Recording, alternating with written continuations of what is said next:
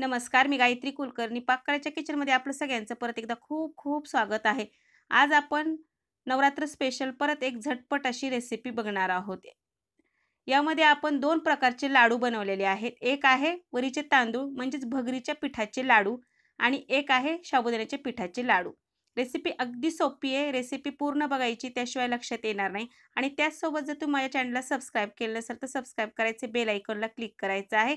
आणि रोज साध्या सोप्या नवनवीन रेसिपी बघायच्या आहेत. चला तर मग हे लाडू कसे करायचे ते बघूयात.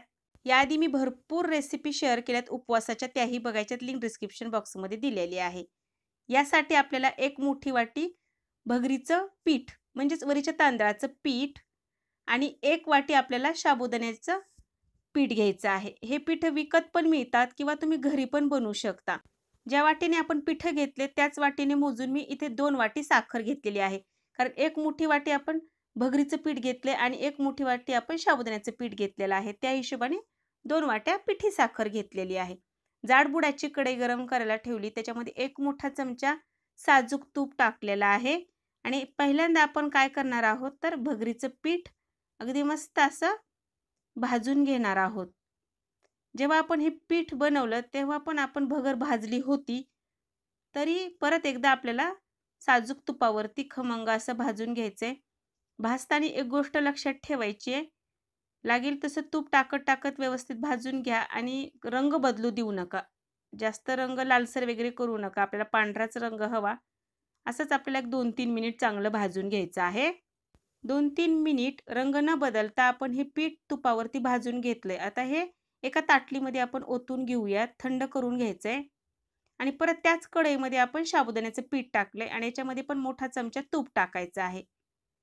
दोन चमचे आपल्याला तूप लागतं. पहिल्यांदा एक मोठा चमचा टाकून भाजून घ्यायचे आणि परत मध्ये एकदा एक चमचा तूप टाकायचं आहे.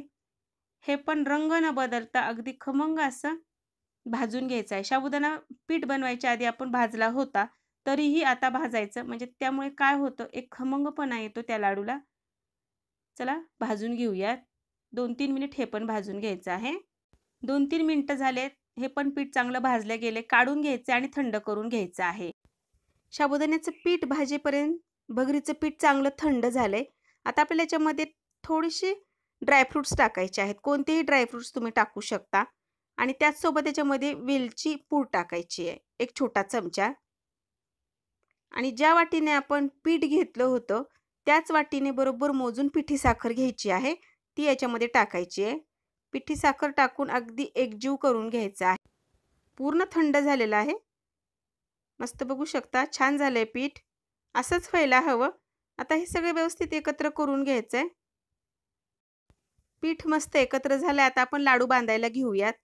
तुम्हाला ज्या आकाराचे हवे असतील त्या आकारानुसार तुम्ही बांधू शकता. या पद्धतीने लाडू बांधायचे आहेत. आणि त्याच्यावरती गार्निशिंगसाठी आपण इथं पिस्त्याचे छोटे छोटे काप केले होते. ते टाकायचे आणि ते लावून मस्त परत एकत्र बांधून घ्यायचं आहे. बघू शकता तुम्ही किती छान झालाय. याच पद्धतीने आपण सगळे लाडू बांधून घेतलेले आहे वरती मस्त पिस्ता टाकलाय. मस्त सहा लाडू झाले. एका वाटी पिठामध्ये सहा लाडू झालेले आहेत. आता याच पद्धतीने आपण साबुदाण्याचे पिठाचे लाडू पण करून घेणार आहोत. साबुदाण्याचं पीठ पण थंड झालं याच्यामध्ये ड्रायफ्रूट टाकलेले आहेत. त्याचसोबत जायफळ आणि वेलची पूड पण टाकली आहे आता याच्यामध्ये आपल्याला पिठी साखर टाकायची आहे. पिठी साखर टाकून सगळं अगदी व्यवस्थित एकत्र करून घ्यायचं आहे याचं पण संप्रमाणात आपण माप घेतलं. ज्या मापाने आपण पीठ घेतलं होतं त्याच वाटीने पिठी साखर घेतलेली. पिठी साखर टाकून एकत्र करून घेतलंय. आता मस्त याचे लाडू वळून घेऊयात.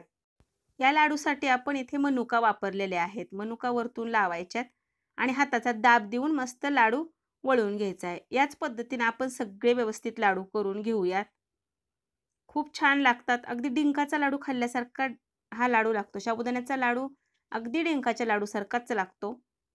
तुम्ही नवरात्रातच काहीतरी एरवी पण आपल्याला बारा महिने वेगवेगळे उपवास असतात. अशा वेळेस असे लाडू बनवून ठेवा. सगळे लाडू आपण याच पद्धतीने वळून घेऊयात. दोन्हीही प्रकारचे लाडू आपले वळून तयार आहेत. साबुदाण्याच्या पिठाचे आणि वरीचे तांदूळ म्हणजेच भगरीच्या पिठाचे लाडू. बघू शकता तुम्ही खूप सुंदर झालेत करून ठेवायचे. आणि दोन्ही पण बघा किती तंतोतंत माप झाले. एका वाटीमध्ये दोन्हीचे पण सहा सहा लाडू झालेले आहेत. तुम्ही लहान मोठे तुम्ही तुमच्या आवडीनुसार करू शकता. रेसिपी बघितली रेसिपी बघायची नाही तर ती करून बघायची. कशी वाटली ते कमेंट बॉक्समध्ये कमेंट करायचं आहे लाईक शेअर सबस्क्राईब करायला विसरायचं नाही आहे धन्यवाद.